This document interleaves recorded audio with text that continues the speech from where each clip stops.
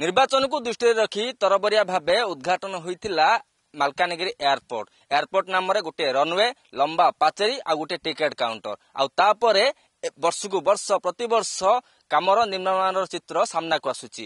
ଗତ ବର୍ଷ ପାଚେରୀ ଭାଙ୍ଗି ଦୁଇ ଜଣ ଶ୍ରମିକ ମୃତ୍ୟୁ ହୋଇଥିଲା। ତା ସହିତ ପାଞ୍ଚରୁ ଛଅ ଜଣଙ୍କର ଛଅ ଜଣ ଗୁରୁତର ଆହତ ହୋଇଥିଲେ। କିନ୍ତୁ ଚଳିତ ବର୍ଷ ଗତକାଲି ପ୍ରବଳ ବର୍ଷାରେ ଏୟାରପୋର୍ଟ ପାଚେରୀ ଭାଙ୍ଗି ଯାଇଛି ମୁଁ ତଳ ଚିତ୍ର ଦେଖେଇବି। ଏ ହେଉଛି ମାଲକାନଗିରି ଏୟାରପୋର୍ଟର ଟିକେଟ କାଉଣ୍ଟର ପଛର ଚିତ୍ର। ଅ, ପାଖାପାଖି ତିରିଶରୁ ଚାଳିଶ ମିଟର ପାଚେରୀ ସ- ବର୍ଷାରେ ଭାଙ୍ଗି ଯାଇଛି ଯାହା ଏଇ ଯୋଉ ପାଚେରୀର ସ୍ଥାୟିତ୍ୱ ଉପରେ ପ୍ରଶ୍ନ ଉଠିଛି କାହିଁକି ନା ଅ, ନିର୍ବାଚନକୁ ଦୃଷ୍ଟିରେ ରଖି ରାଜ୍ୟ ସରକାର ଯେତ- ତତ୍କାଳୀନ ରାଜ୍ୟ ସରକାର ଏଇ ଅ, ଏୟାରପୋର୍ଟକୁ ଉଦ୍ଘାଟନ କରିଥିଲେ କିନ୍ତୁ ଯୋଉଭଳି ଭାବରେ ପିସିର ଅ, କଥା ଉଠିଲା ଚଳି- ଗତ ବର୍ଷ ମଧ୍ୟ ପିସିର କଥା ଉଠିଥିଲା ଚଳିତ ବର୍ଷ ଏଇ ଚିତ୍ର ଏବେ ପ୍ରମାଣିତ କରୁଛି ଯେ କୋଉଭଳି ଭାବରେ ଏୟାରପୋର୍ଟକୁ ନିର୍ମାଣ କରାଯାଇଛି ଆଉ ଏହାର ପାଚେରୀକୁ ନିର୍ମାଣ କରାଯାଇଛି ଆଲୋଚନା କରିବା ଆ, କଣ କହିବେ ଆଜ୍ଞା ପ୍ରତିବର୍ଷ ଗତ ବର୍ଷ ମଧ୍ୟ ଏଇ ପାଚେରୀ ଭାଙ୍ଗିଥିଲା ଏଇ ବର୍ଷ ପାଚେରୀ ଭାଙ୍ଗିଲା ଆ, ଟିକେଟ କାଉଣ୍ଟର ଅଛି ସେଠୁ। ପାଣି ଖସୁଛି ଏଭଳି ଚିତ୍ର କାହିଁକି ସାମ୍ନାକୁ ଆସୁଛି? ଦେଖନ୍ତୁ ନିଶ୍ଚିତ ଭାବରେ ଇଏ ଏକ ନିନ୍ଦନୀୟ ଘଟଣା।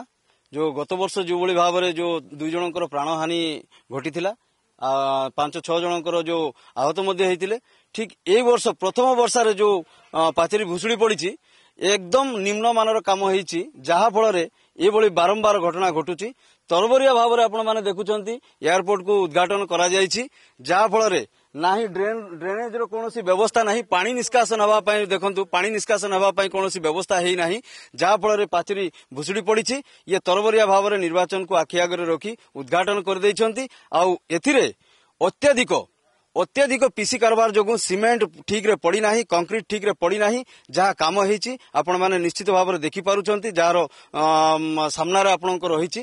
ତେଣୁକରି ଆମେ ଏହାକୁ ଜିଲ୍ଲାପାଳ ମହୋଦୟଙ୍କୁ ଅନୁରୋଧ କରୁଛୁ ଏହାର ସଠିକ୍ ତଦନ୍ତ କରି ସମ୍ପୃକ୍ତ ଥିବା ଠିକାଦାର ଏବଂ ଯନ୍ତ୍ରୀଙ୍କୁ ଦୃଢ଼ କାର୍ଯ୍ୟାନୁଷ୍ଠାନ ଗ୍ରହଣ କରାଯାଉ।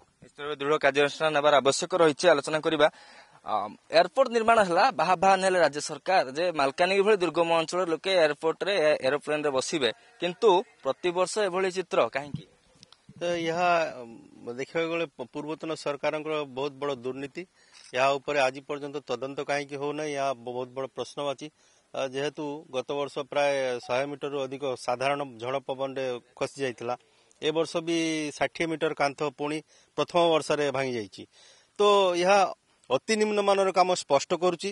ଆଉ କି ଯନ୍ତ୍ରୀମାନେ କିଭଳି ଭାବରେ ଏଭଳି ନିମ୍ନମାନର କାମ କରିପାରିଛନ୍ତି ଏଥିପ୍ରତି ଗତ ବର୍ଷ ଠାରୁ ଆଜି ପର୍ଯ୍ୟନ୍ତ ତଦନ୍ତ କାହିଁ କରାଗଲା କାହିଁକି କରାଗଲା ନାହିଁ ଏହା ସବୁଠାରୁ ବଡ଼ ପ୍ରଶ୍ନ ଉଠୁଛି।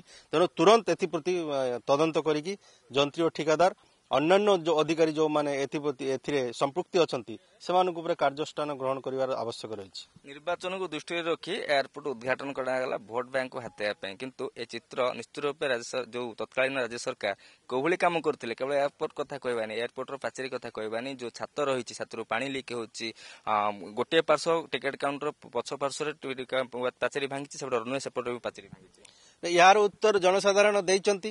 ଯୋଉ ଭଳିଆ ଯୋଉଭଳି ଭାବରେ ରାଜ୍ୟ ସରକାରଙ୍କର ଏଠି ଉଡାଜାହାଜ ପଡ଼ିଆ ନିର୍ମାଣ କାମ ହେଇଛି ସେଥିପ୍ରତି ଲୋକଙ୍କର ଖବର ରହିଥିଲା। ବିଶେଷ କରି ଯୋଉମାନଙ୍କର ଜମି ହ- ନିଆଯାଇଛି ଶାଗ ମାଛ ଦରରେ ଜମି ନିଆଯାଇଥିଲା ସେମାନଙ୍କର ଖବର ରହିଛି ସେମାନେ ତାର ଉତ୍ତର ଠିକ ଭାବରେ ଦେଇଛନ୍ତି। ନିଶ୍ଚିତ ରୂପେ ଲୋକେ ଉତ୍ତର ଦେଇଛନ୍ତି। କାହିଁକି ନା ଯୋଉଭଳି ଭାବରେ ନିର୍ବାଚନକୁ ଦୃଷ୍ଟିରେ ରଖି ଏୟାରପୋର୍ଟକୁ ଉଦ୍ଧା- ଉଦ୍ଘାଟନ କରାଗଲା ତରବରିଆ ଭାବେ କୌଣସି କାର୍ଯ୍ୟ ସରିନଥିଲା ପାଚେରୀ ନିର୍ମାଣ ସରିନଥିଲା କିନ୍ତୁ ବର୍ତ୍ତମାନ ଯୋଉଭଳି ଭାବରେ ଏଇ ଯୋଉ ନିମ୍ନମାନର କାମ ଚିତ୍ର ସାମ୍ନାକୁ ଆସୁଛି ନିଶ୍ଚିତ ରୂପେ ଗୋଟେ ବଡ ପ୍ରଶ୍ନ ସୃଷ୍ଟି ହେଉଛି ଏଠାକାର ପ୍ରଶାସନ କୋଉଭଳି ଭାବରେ କାର୍ଯ୍ୟ କରୁଛି।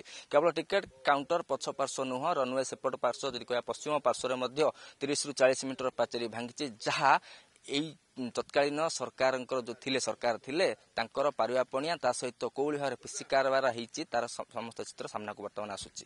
ମାଲକାନଗିରି କ୍ୟାମ୍ପ ପର୍ସନ ରାହୁଲଙ୍କ ସହ ବିକ୍ରମ କେଶରୀ ସ୍ୱାଇଁ ଅର୍ଗସ ନ୍ୟୁଜ୍। ଯଦି ଆପଣଙ୍କୁ ଆମ ଭିଡ଼ିଓଟି ଭଲ ଲାଗିଲା ତେବେ ଆମ ଚ୍ୟାନେଲକୁ ଲାଇକ୍ ସେୟାର ଓ ସବସ୍କ୍ରାଇବ୍ କରିବାକୁ ଜମା ବି ଭୁଲନ୍ତୁ ନାହିଁ।